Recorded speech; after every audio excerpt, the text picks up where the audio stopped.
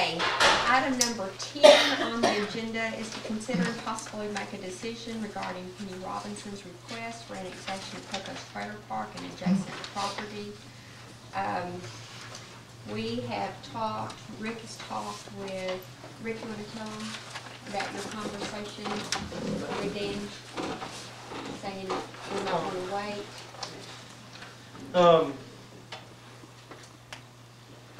I'm not, I'm not sure what, Okay, um, anyway, we, we know we need to do something and, and we can table it until we look at everything and look at the overlay and see what we need to do.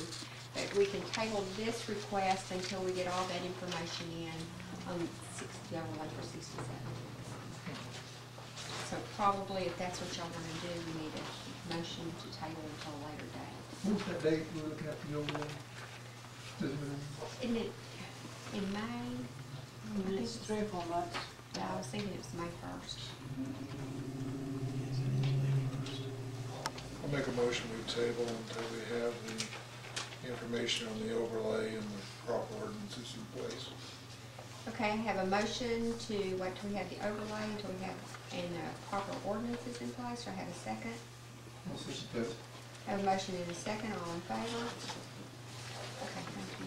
Okay, thank you. Um, and we will let you know as soon as we, we know something.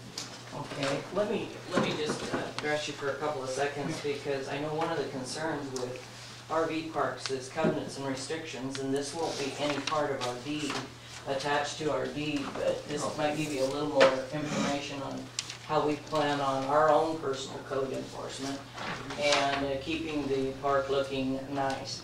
And I think it's important that you understand how serious we are about it. I think that's about all I have to say tonight, till we make further decisions. Yeah, I appreciate Thank this. you very much.